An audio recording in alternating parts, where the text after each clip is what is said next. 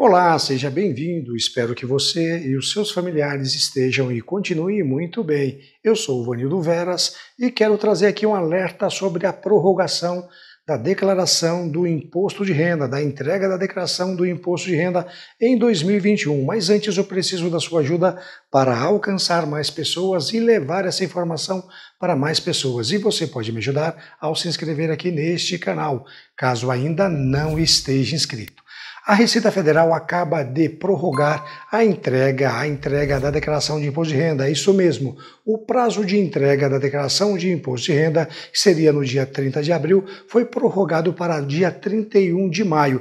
Há um projeto lá na Câmara dos Deputados tentando prorrogar para o mês de julho mas a Receita Federal já se antecipou prorrogando para 31 de maio. Você precisa ficar atento para não perder esse prazo. Talvez seja uma sinalização do próprio governo não concordando com a prorrogação para até 31 de julho. Acontece que com esta prorrogação havia uma necessidade também de adequação do orçamento, do orçamento, pois no projeto que está na Câmara dos Deputados havia também a prorrogação do prazo do recolhimento das cotas do imposto de renda. O governo disse: não, não dá para aguardar até o ano que vem para receber tudo isso. Nós vamos acompanhar aqui o desenvolvimento deste assunto durante esta semana lá na Câmara dos Deputados, pois o projeto foi alterado lá no Senado e voltou para a Câmara dos Deputados. Vamos verificar se a Câmara vai seguir seguir com esta recomendação da própria Receita Federal